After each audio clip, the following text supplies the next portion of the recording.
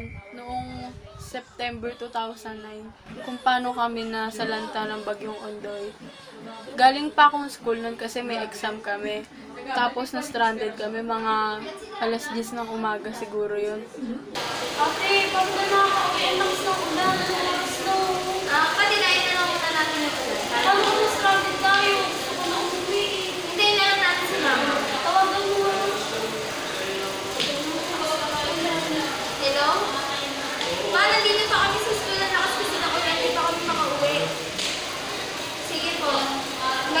Lang po kami sa labas. Tapos hanggang sa sinundo na ako ng service ko, nakarating kami sa bahay. Okay pa naman, malakas yung ulan, bumabagyo nun, pero hindi pa ganun kabaha. Hanggang sa Ano naggabi. na? Mag-aalas 10 pa lang, Han. Bakit? Hindi ako makatulog. Ang lakas ng ulan sa labas. Di yan, mataas ang lugar natin dito, Han. Eh, paano pag binaha? Kawawa naman tong mga anak natin, maliliit pa. Hindi, sinabi yun dati, di ba? Dati, na mataas ang lugar natin, kaya hindi tayo binabaha. Bumalik na, bumalik na sa pagtulog. doon na bumabaha. Habang tumataas yung baha, ang dami nag-evacuate ng mga kapitbahay namin. Tumataas na po ang tubig, maaari na po tayo lumigas, nasa red alert na po tayo. Pakigising na lang po ang mga kamag-anak natin dyan, yung mga iba po. At umabati na po tayo, may mga kakatok po sa mga bahay nyo. Maraming salamat po, evacuate na po tayo at nasa red alert na po tayo. Pakigising na lang po yung mga iba. Salamat po. Ano ba yun? May bigas na ito sa loob. Tao po! Tao po! Tao po! Ay sir, tumataas na po yung ano natin, yung ilog natin. Baka pwede lumikas na po tayo. Kaya sabihan na lang yung mga kasama niyo sa bahay. Ah, sige, sige, salamat. sige. Maraming Ay, bilisan na lang po ah. Sige po.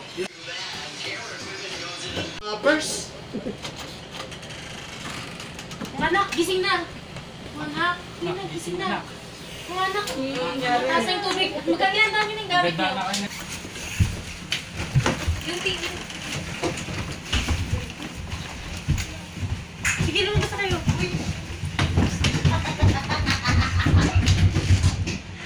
madaming mga gamit na hindi na isalba dahil sa bahanga na inabot na hanggang bubong.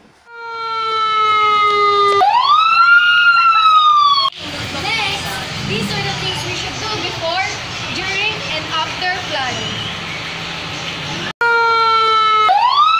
flash floods, elevate furniture and electrical panel. Second, construct barrier to prevent flash flood. And three, ready teams.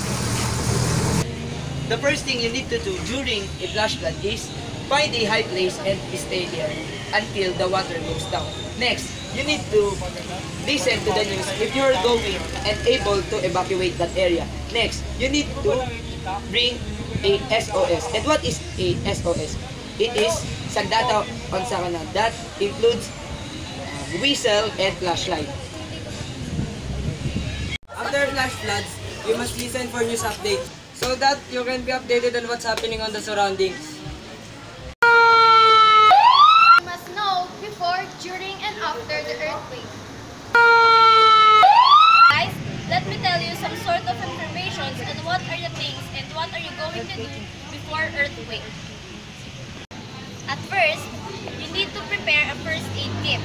Second, always keep a flashlight on your bags or inside your pockets. First aid kit is an emergency tool used when in danger. This tool must always bring wherever you go. Pangatlo, maghanda at magtabi ng mga pagkain. Best example dito is yung mga candy, especially, especially yung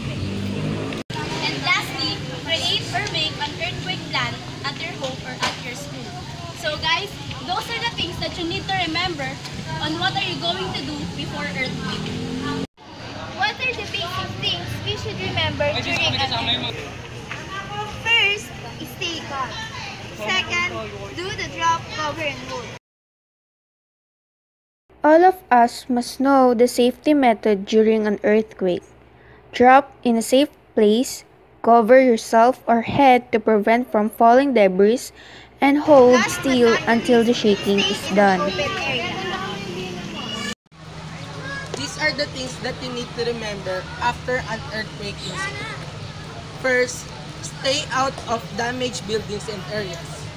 Second, follow emergency plans. And third, expect aftershocks.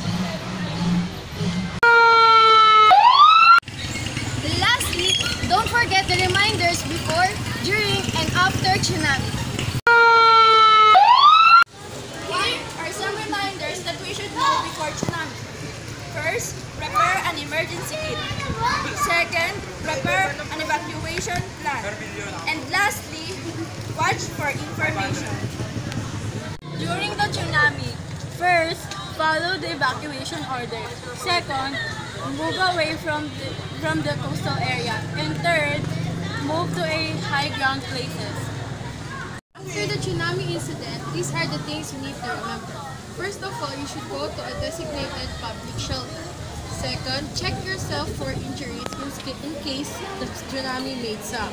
And lastly, You can go once to fish and tell you it's safe.